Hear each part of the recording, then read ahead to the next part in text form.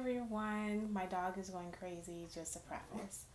Um, so, um, last night clearly was a rocky night, an election day. And I made it a holiday in my house. Um, I don't know about yours. I just want to remi- remind you about Blackwater, right? And so I tried black cherry, and again, you know, you got to get over the color because the color having black water is kind of strange. Anyway, um, the election and largest takeaways. Oh, and don't forget that I am wearing my Kamala shirt. um, and you know, AK pen and got this is the best I could do for pearls at the moment. I'm so sorry. My Tiffany pearls, and um, I got my checks, got my pearls on bracelet. Um, I mean, it looks like Joe. It looks like it's going to be a President Joe Biden and a Madam Soror Vice President um, Kamala Kamala Harris. Um, but I think I'm depressed by the election results. I'm not surprised, um, but it is a little depressing and a little disheartening because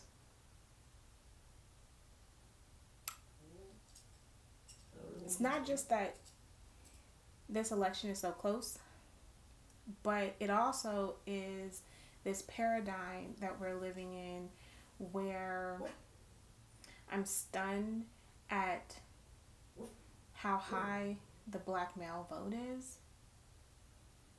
Um, it's hard to not feel betrayed and to feel very disheartened and discomforted.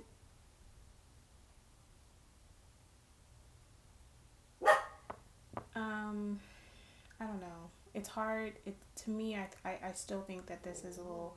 It's a little bitter because the Senate is still going to be. You know, the same. You can have Mitch McConnell and his crew that has absolutely ran this Senate like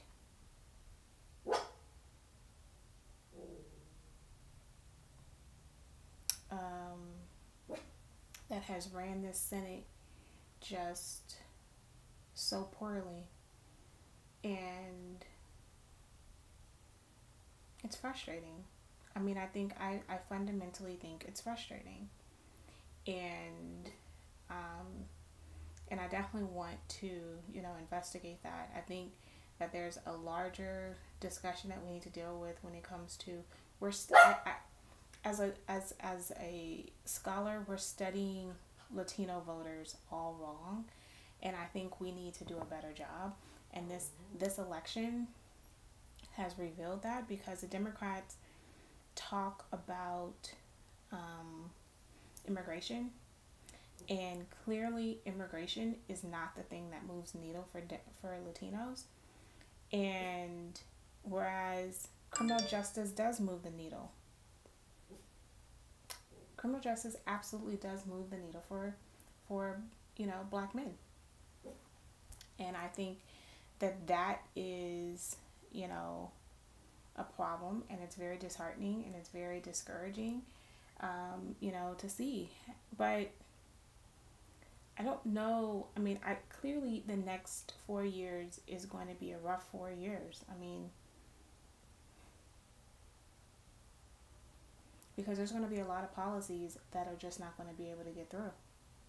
Uh, student loan forgiveness is out is, is, is a wrap. Um, healthcare, that's a wrap. Um, you, you you'll be able to keep Obamacare where you have now, but I mean, universal health care that's that's that's a wrap. Um, you probably will get a stimulus package, but I mean,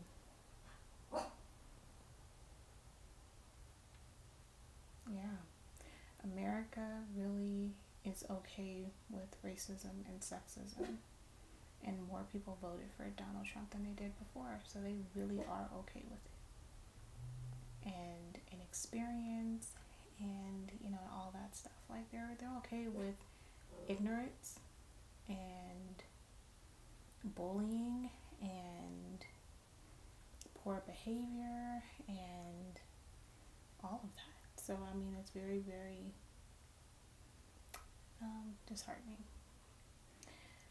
Uh, but on a positive note, I mean, it's a big day for black women. So,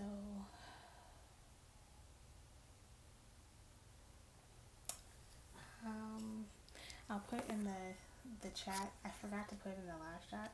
I'll put in the chat the link for you to go out and order yourself some black water and um, become a partner, maybe if you're interested. Have a great afternoon, and I will see you on. Um, I guess the next time we see each other. I'm not sure. Hopefully, it's this week though. I will try for it to be this week.